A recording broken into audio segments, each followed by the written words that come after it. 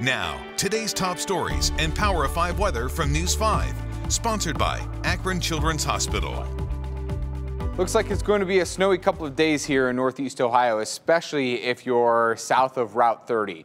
Closer to Columbus, we're going to see the heaviest of the amounts of snow here in Ohio. Temperatures in the mid 30s for today, on and off snow showers for today, tonight, and it looks like for tomorrow as well. We're going to continue to see snowfall amounts really picking up in those southern spots. Around one to two inches, maybe upwards of three inches in a couple of spots from Akron basically to the north. So the primary and secondary snow belts, where you typically see the highest amounts of snow, you're going to get the lesser amounts of snow.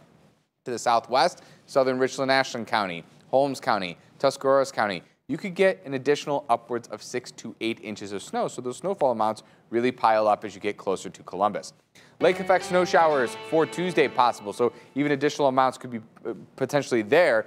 Partly cloudy skies on Wednesday, upper 20s, mid 30s on Thursday, a little bit of rain, changing to snow Friday, partly cloudy and chilly on Saturday. Hi everyone, I'm Homa Bash. It is Sunday, January 31st. Here's a look at your top local stories.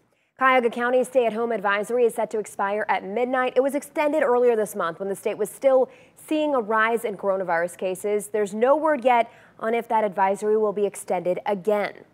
Today is the deadline for Ohio's bars and restaurants or any business with a liquor permit to apply for a $2,500 grant from the state. The money comes from a federal CARES Act spending package. Owners just need to fill out an online application with their liquor permit ID and federal tax ID numbers. We do have a link to the application on our website and our News 5 app. Right now, several Northeast Ohio cities and towns have parking bans in effect. Some will be in effect through Tuesday morning. Just make sure your car isn't parked on any city streets. You could get towed or you could face a fine.